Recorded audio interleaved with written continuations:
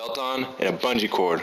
And see what I'm doing right here, that uh, left leg, the farthest leg on your right, uh, is going to be the one driving me forward. And uh, I've got to decelerate myself because if I just let go, I'm going to get flung back. So this is really tough because it's 100 plus pounds resistance. Plus, the farther you go, the harder it gets. So this is something I suggest if you got any type of, see how you can see how it's throwing me back. Um, right here, just trying to be quick on the toes, guys. It's one of my weaknesses, being quick. Very, very weak in this area. Um, I'm basically going uh, as fast as I can at this point.